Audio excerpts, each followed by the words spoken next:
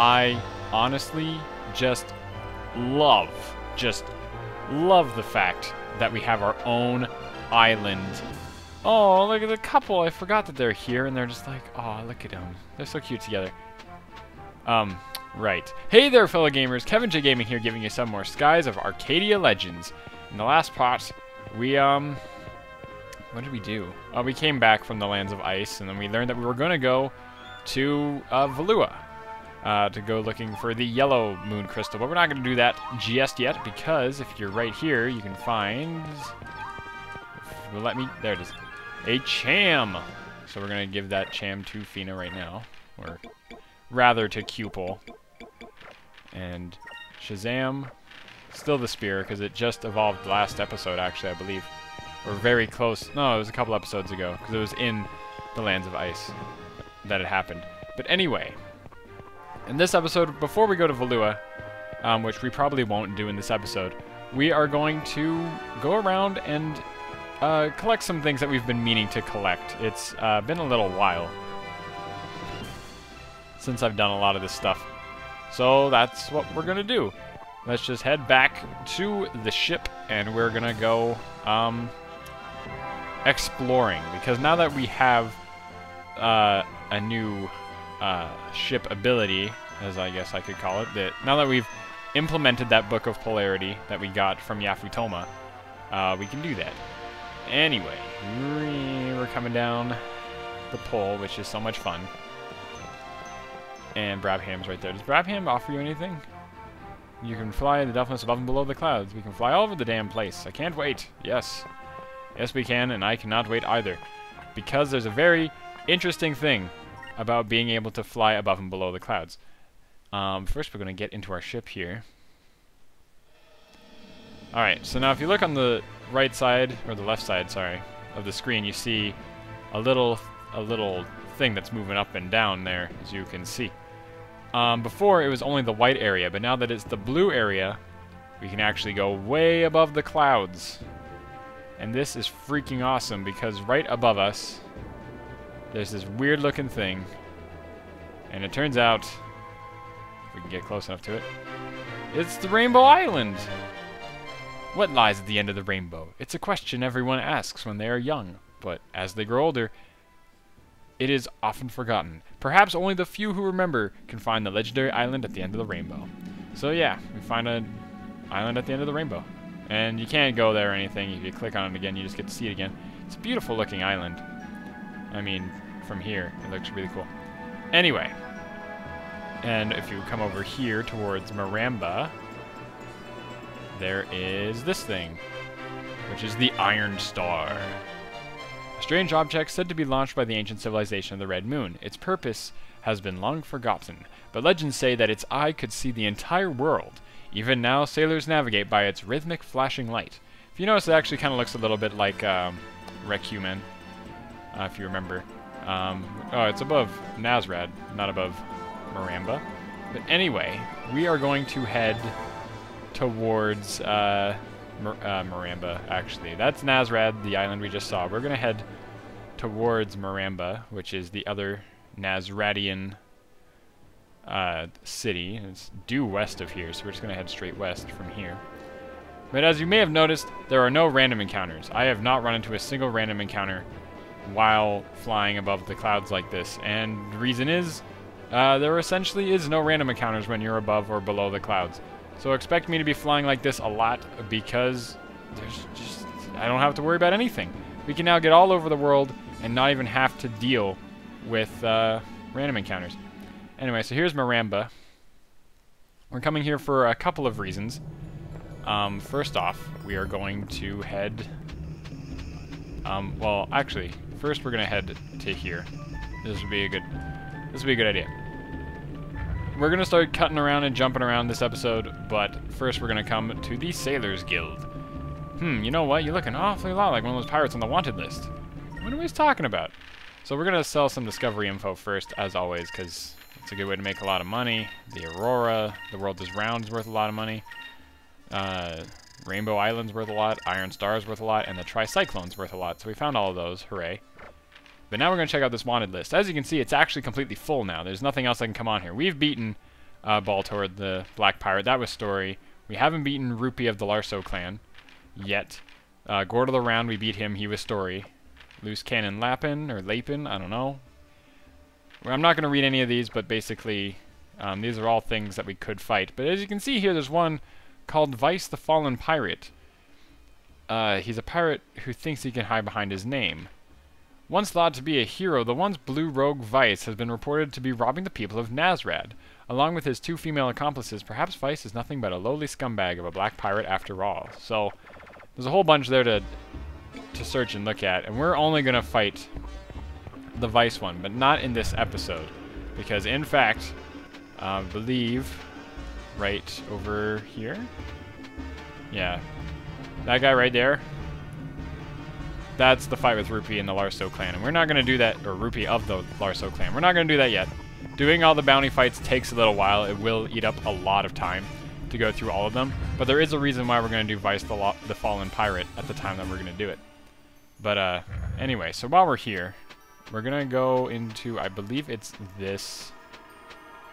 Oh, that's the weapon shop. We want to go into this one then? One of these buildings is the one we want to go to we... Yep, this is the one. Talk to this person. She says, You are a sailor, are you not? I could tell by your smell. Hmm, you sailors are nothing but trouble. Like, that's not even an old lady voice. I'm not even trying. I had a dollar, but she fell in love with a sailor who drifted into town one day. The next thing I knew, she ran off with this good-for-nothing sailor and left me here to run the shop by myself. I have not heard of her since. She's probably lying dead in a gutter somewhere by now. So that's an important thing. I'm not sure if that actually starts the side quest, but there was another reason why we came to Maramba anyway and talking to her pretty much gives us the subtext that um, some sailor ran off with that girl's daughter. And uh, we're gonna go off to find that. Oh, I have to talk to you to do this. Uh, sure, I'll take a, a dabu. Anyway, so we're gonna take the dabu over to the other part of Maramba. Because Maramba's like this, and they make you... They just make you do this. Uh, Okay, we made it. Okay. There's somebody here that we've actually never really taken the time to talk to, and I really should have showed it off a little bit earlier, but it doesn't really matter. I never used it, and I don't think you need it in this heavily story-driven game. We're gonna come into here, and there's this this weird-looking person. Hmm. Welcome. Hmm. You. I've seen your face in my dreams. It was a dream in which someone was holding a Sweeren braid back into the sky. Perhaps it was nothing. Do you wish to know of your fate? Oh, right. Oh, right. Oh, right. Oh, right. All right. Um, I'm gonna be right back because we gotta get that Sweeren blade, and I know where to get it. It it's, I believe it's the sword that we were supposed to buy or could buy in Yafutoma, but we found a better sword since, so now we gotta yeah, because what does Vyse have equipped? He has the Dream Cutlass. Well, anyway, yeah, I'm going to head all the way over to Yafutoma. And we're, then we're going to have to come back here. I screwed up big time. That was my bad. I forgot that you needed the Sweeren Blade. So we run up here. And the weapon shop's right here. If you remember. We, we came here once before, but I don't think we had a lot of money at the time. Uh, but now we have a fair bit from all the fighting we've been doing. He bows to us. He's a quite, uh, quite the gentleman, I'd say. Anyway, if he has a Sweeren blade, and he does, you're gonna buy it. It's actually better than the sword we have. We just should have had it a while ago. uh, the Yin Wing, yeah, none of this is as good as the other things. Uh, increases defense. It'd be good for Enrique, so I'll buy this for Enrique. And then so Ranchu, the long robe, the unseen hand. I don't know what the difference between magic and whatever is. So yeah, we'll just sell off these other things. Moonlight robe, long robe, Thrillax scale, and this alloy deck, I guess. I think I got a better one since. Anyway, so now we have that. We're going to go all the way back to Maramba, and we're gonna go talk to that lady. Uh, we're gonna go talk to, actually, you'll see where I go. We're gonna go close to Maramba on our way back. But, uh, yeah, we'll, we'll, we'll be heading back on our way to Maramba. We might as well continue what we were doing with uh, with that Cabal skewer lady while we're out, because basically we have to go somewhere else with her. She's the she's the runaround side quest. Anyway, I'll see you in a moment as I fade here. Get, get out of the thing! Okay, there you go. There you go. And we're really close to Esperanza. What is that in the sky? I don't know if I can catch up with it. Oh, but I'm gonna try. Oh, what is this? What is this? Is this a battle or is this a discovery? I want to say it's a discovery. I'm pretty sure it's a discovery. I think we're sailing faster than it. Yeah, we are. We're catching up for sure. You have found the Sky Train.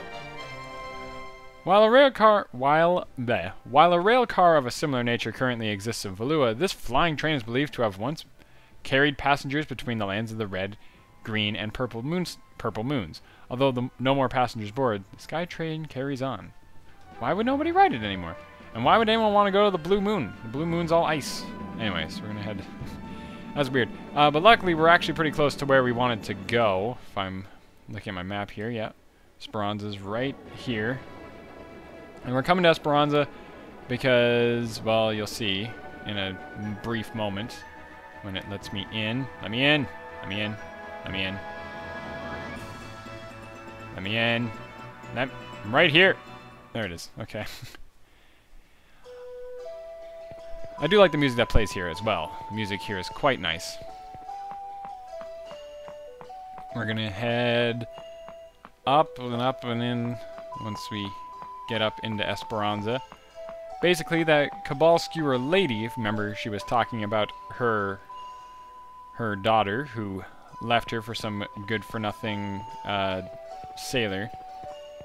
She's actually, um, she's actually here. She's actually here in Esperanza, the friggin' ghost town. So I'm gonna come here, and you're gonna want to talk to... I heard you guys made it through the Dark Rift. I knew you'd be able to do it. I have confidence in your abilities, so I have a favor to ask you. I would like to listen to my story first. Many years ago, I eloped and came here with a sailor that I had fallen in love with. Interesting. That was what I was just talking about. But he found another woman and ran off with her. I can't believe how foolish I was to trust him. But I've accepted my fate. It's not myself that I'm worried about. It's my mother. I left her behind in Maramba. If you ever have a chance to stop by Maramba, could you visit the Cabal Skewer's shop? I want her to forgive her foolish daughter, and I want her to know that not a day has passed that I haven't thought of her. So that's a bit of a sad story. And speaking of sad stories, the vice is you. You actually made it through the Dark Rift. Yep, I saw everything that was beyond it, too. You really know how to rub it in, don't you? You know how much I wanted to see what was on the other side? Don, it's still not too late. Why don't you come with us? We can sail together. well, there isn't much I can do any more than sail, and I sure haven't done that in a while either. But if it's a sailor you want, it's a sailor you'll get. Let's go, Captain. That was my attempt at a drunk voice. And he leans back. I don't know, it's just bad. Don joins our party as a helmsman. I believe Lawrence is better, but I'm going to take a quick look at a at our crew here. Let's see. Lawrence will increase your ship's quick. Uh, Don increases our ship's dodge, which I think is actually better. So you know what? We are going to go with Don here. And as you can see, we're only missing uh, three people. That's it. So we're going to get through that. Um, hopefully, not this episode. If it's a two-parter, it's a two-parter. That's fine. But, uh, yeah, we gotta, we gotta get through a lot of stuff. Anyway, so I'll see you guys back in Maramba, where we're going to talk to that Paul Skewer lady again. And we're going to um, talk to that girl who wanted us to have the Swearin Blade again. Okay, so we're back in Maramba. We're going to go talk to the Cabal Skewer lady again, who's right here. And she says, I remember you. You were that sailor that came here a little while ago. What What is your wish? What? M my, my daughter, she's still alive? Well, good for her. Not that it means anything anymore. She does not expect me to forgive her and take her back now, does she? She's a stupid girl. She is my daughter no more. Leave my shop. So yeah, basically they want us to keep running back and forth. We'll continue that side quest a little bit later. Uh, it does lead to a very useful prize. Uh, it's just uh, it's a pain to get. Um, oh yeah, I have, to, I have to keep forgetting I have to talk to this guy. But yeah, so that's how you do that.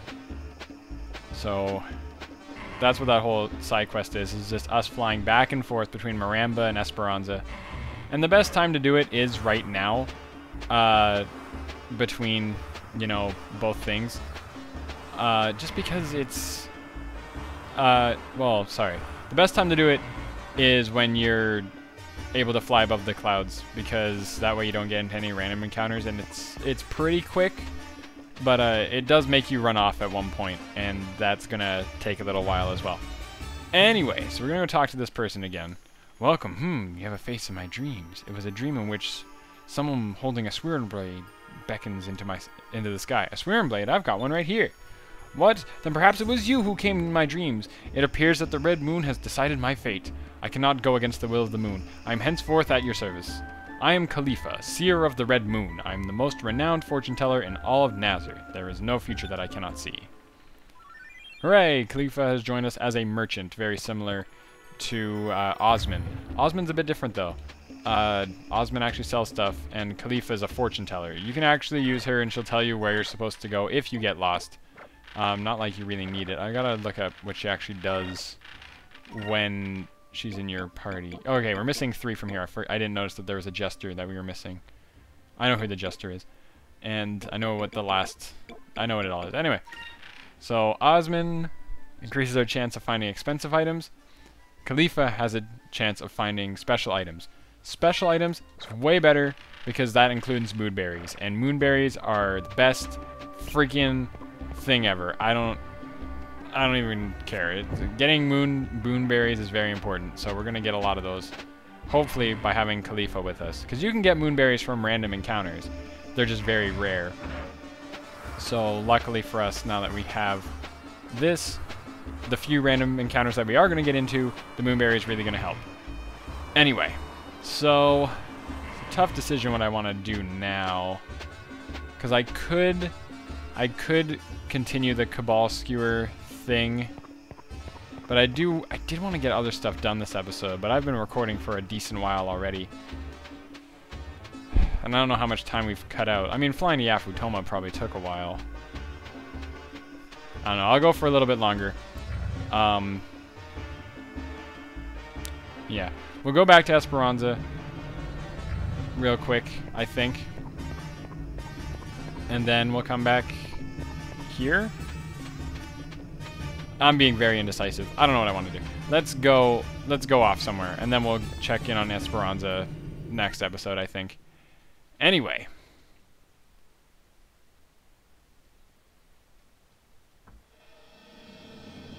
So we're going to fly up, and where we're going to go now, since we're not going back to Esperanza, we are going to go um, to a little bit north of Valua. So we're going to head northwest-ish is the direction we're gonna head. You can tell we're in Valua because the sky is gonna get completely dark underneath us, and it's very ominous, I must say. Um, I, I also want to find a discovery while I'm here. So, where is the city of Valua exactly?